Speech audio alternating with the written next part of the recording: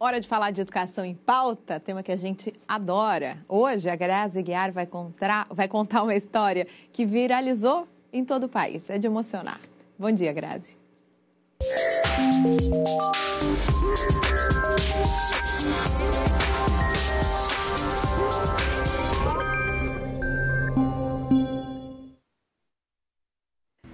Dia, bom dia pessoal. Para você também que mais uma vez acordou cedinho para nos acompanhar aqui no Educação em Pauta. Essa história que nós vamos acompanhar agora, talvez você já tenha visto pelas redes sociais, já que é um assunto que viralizou. Um professor de educação física de Porto Velho, Rondônia, emocionou a todos, mostrando aulas de inclusão social com um estudante de 9 anos que tem encefalopatia. Apesar da recomendação de não deixar o menino sequer se levantar, o professor insistiu nas atividades físicas e o resultado é realmente impressionante. A gente está vendo aí nas imagens um pouco de como foi o processo, né? Agora vamos assistir juntos um trechinho de um dos vídeos mais recentes. Dá só uma olhada.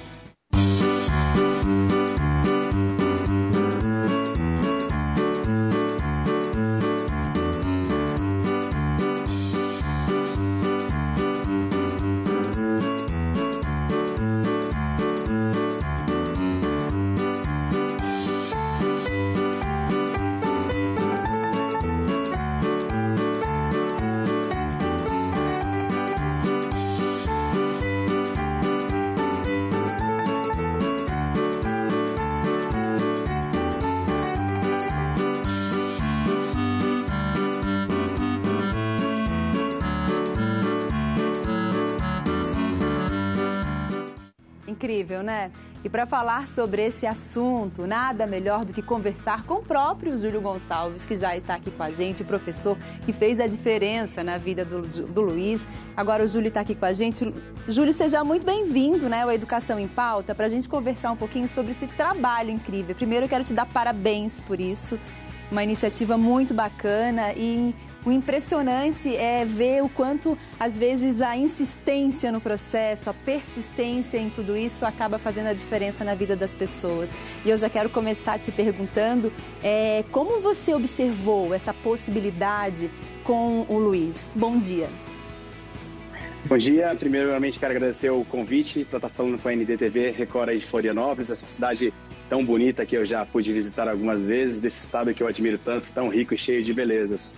Bom dia para todo mundo que está assistindo a gente aqui. É, para você ver, né? Uma história muito interessante, muita superação, que tem comovido tantas pessoas. É, recebi o aluno Luiz, das professoras de sala, e elas fizeram um pedido para mim. Na verdade, esse pedido foi delas: não deixa ele se levantar da, da cadeira, porque toda vez que ele tenta, ele se machuca, né?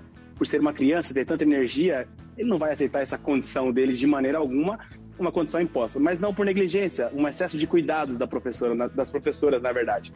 Mas eu, como profissional de educação física, não poderia aceitar uma recomendação dessa, porque eu pensei, como assim se levantar da cadeira? O menino chega na cadeira de rodas, eu ainda não tinha pegado nenhum laudo dele, nem nada, né? Não sabia qual era o caso. Aí eu coloquei ele numa cadeira fixa, fiz alguns testes, e aí, como profissional de educação física, com todas as minhas capacidades, eu observei uma coisa interessante. Eu olhei e falei, aqui tem muito potencial e vai sair um trabalho muito legal. Foi o que aconteceu. E realmente saiu, né? Que bacana ver esse processo. E hoje, como está o Luiz, Júlio?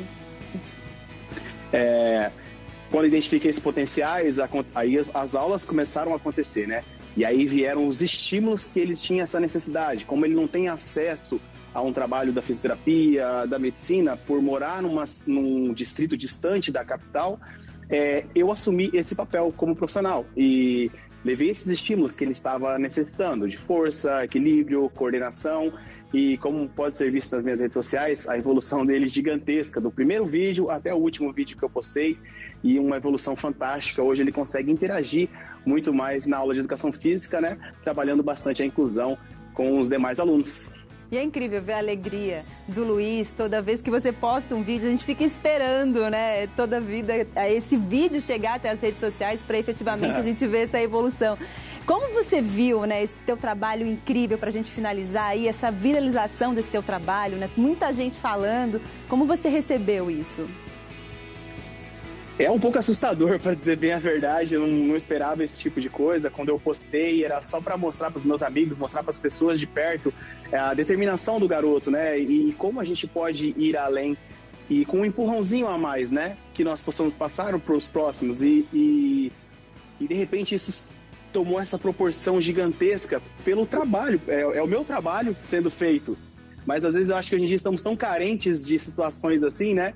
Que isso acaba tomando uma proporção muito grande. Eu fico muito feliz com isso, claro, porque é uma mensagem extremamente positiva. Não tem como eu não ficar feliz com uma situação dessa. É um pouco assustador, mas que bom que é um, algo extremamente positivo, é superação, é, é, amor ao próximo, é dedicação, é coração, amor à profissão, é tanta, tanta coisa boa num vídeo só que eu consigo me apegar a isso e ficar extremamente feliz que isso se espalhe pelo Brasil e que seja referência, estímulo, que motive a tantas outras pessoas. Muito legal, muito bacana. Parabéns pelo seu trabalho. A gente quer ver cada vez mais a evolução do Luiz e de outras tantas crianças também, né, que se possível for. Gratidão pela sua participação.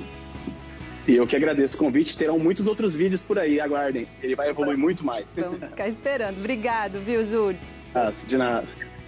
Bacana essa iniciativa, né? Há poucos dias a gente também mostrou por aqui uma história de inclusão social em Santa Catarina, mesmo no município de Presidente Getúlio. A pequena Pietra Lara, de 7 anos, estudou na escola básica Cecília Ax entre os meses de abril e julho. E a professora de educação física, Ângela Carla Balcelli, fez um trabalho super bacana durante as aulas. Certamente, em pouco tempo, ela também fez a diferença na vida da Pietra e a Pietra na vida da professora, é claro. Que belos exemplos de superação, né? É bacana encerrar a semana com essas superações e saber que existem pessoas como a Ângela, como o Júlio, que acreditam no poder da transformação. Para você, um ótimo fim de semana, né? A gente se encontra na segunda-feira e pense, quem sabe você pode fazer a transformação também na vida de uma pessoa. Tchau, tchau. Até segunda.